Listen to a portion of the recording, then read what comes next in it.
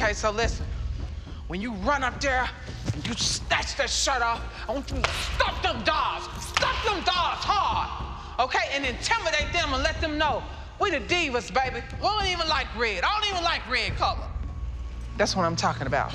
You already know who I am. I am the diva, the coach for the divas of Olive Branch. And if you don't know, now you know.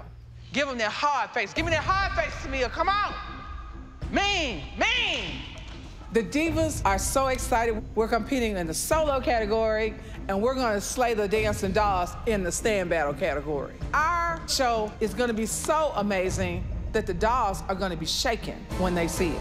Last time we went against the dancing dolls, do y'all remember all that nonsense they did? Dianna was up there on the stage pulling her pants down. Last time the Divas of Olive Branch saw the Dancer Dolls, we were in Jackson, Mississippi, and they really behaved badly. That butt wax like them eyebrows.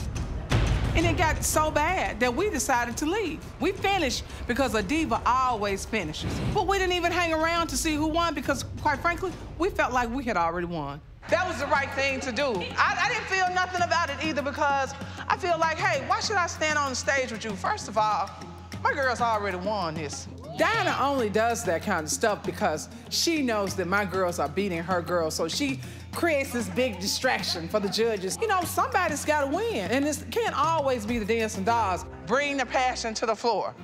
Because, like, again, Kayla, Christiana, Sanjay, Tamia, they're going to be bringing it. Y'all need to bring it. Just get ready, dolls. You better bring your A game, because I can guarantee you we're bringing the A+. plus, And the Divas will be victorious in the next battle. Your form got to be good. Watch your line. Watch your line. Watch your line.